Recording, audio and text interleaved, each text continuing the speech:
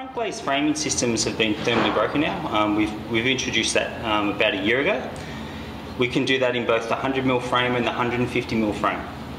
The advantage of that is it separates the um, inside metal from the outside metal, which stops the, reduces the thermal transmission from inside to outside. One of the um, the sashes that we've um, we're showing right now is the uh, that we're quite keen on selling is the the Truth sash.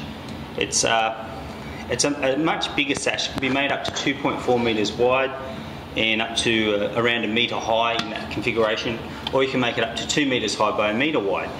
It's got a multi-point locking on the side which allows you to pull up very tight against the seals and gives you very good water performance and air infiltration numbers. That's the profile.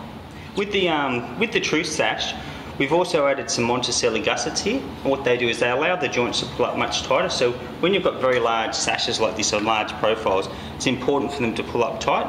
So we put adjustable gussets in there and what happens is you can actually crank the, crank the joints up tight so that you get a much tighter seal, a much better water performance and air infiltration numbers and of course it's much better for your energy as well.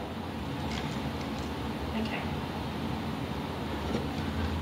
When we developed thermal commercial framing, it was um, it was it weren't, we weren't just doing it so we could split colours. It's it's very much it's very important to stop the transfer of energy from hot to cold. So if you've got hot, if you've got a very hot environment on the outside and you've got your air conditioning going on the inside, you don't want all that heat transferring through.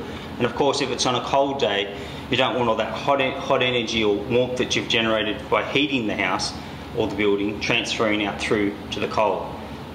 If you look at um, our, our thermal um, simulation machine, you'll be able to see how that works in action. You can see that it actually on non-thermally broken metal, you see it's actually condensates and it gets freezing cold and of course that's simulating the hot energy either transferring through, through to it, which is losing energy, and you can also see the thermally broken metal, which is one side is relatively normal, has a normal temperature, and the other side will be relatively cold or very hot.